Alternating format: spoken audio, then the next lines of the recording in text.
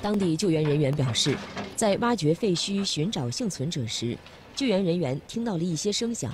在进一步挖掘后，他们发现了这名脐带仍与母体相连的女婴。女婴的母亲在救援人员到达之前就已经遇难，但这名女婴却奇迹般幸存下来。她被救援人员救出，并被送往当地一家医院进行救治。在医院的保温箱中，女婴因手部受伤缠着绷带，前额和手指也冻得发紫。但其主治医生表示，目前女婴的身体情况已经稳定。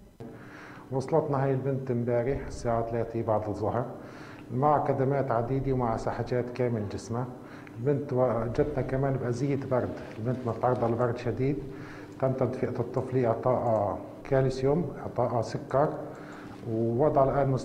据了解，这名女婴是这个家庭中唯一一名幸存者，她的父母和四个兄弟姐妹全部在这次地震中不幸遇难。人间之惨的惨剧啊！